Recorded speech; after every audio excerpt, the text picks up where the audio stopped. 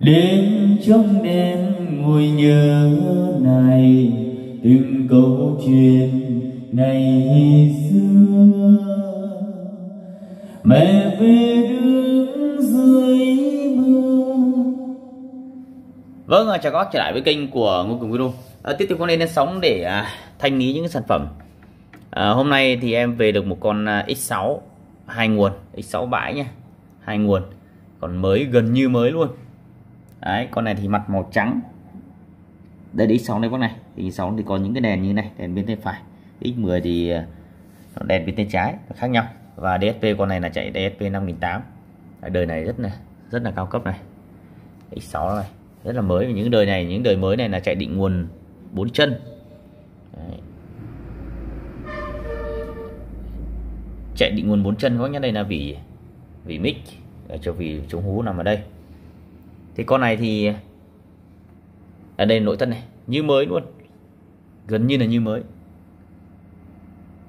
Em về được một con duy nhất thôi, thì thanh lý cho bác là 2 triệu 500 nghìn đồng. Các bác nào nhanh tay thì à, ủng hộ nhé những con này gần như mới. Xước chân ít em tháo ra, tháo phía sau ra này.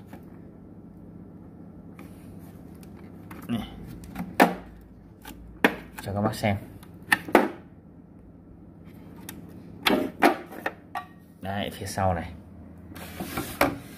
bao zin các bác nhé. Không có sửa chữa gì cả. Bao zin đấy, phía sau đây.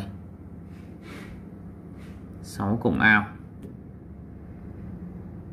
Gần như là không có một vết xước này Đấy, con này là như mới. Thì có một con duy nhất thôi. Bác mua thì ủng hộ em nhé. Con này bán cho các bác là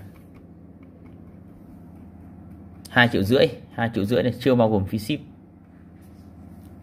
Đấy, em vừa thử tiếng mic rồi nhé các bác mua tiểu ủng hộ em. À, khi các bác mua em sẽ tặng khiển dây rắc đầy đủ cho các bác không bao ship tặng khiển dây rắc đầy đủ. À, và cài đặt các chương trình cho các bác theo yêu cầu. Đấy, khi bác mua thì cọc ship và chụp loa mic em sẽ cài theo cái cái cái cái à, sở thích của các bác. Thường thì em sẽ cài theo eco ngắn eco dài. Và biết được chất mic chẳng hạn mic buyer phải cài khác uh, mic Ridaka phải cài khác mic Sure Sen cũng cài khác khác nhau mỗi dòng mic có một cái nợ giải khác nhau và cài cũng khác nhau. Và cái này cũng để cài theo cái nợ giải của loa loa khác thì cũng phải cài khác.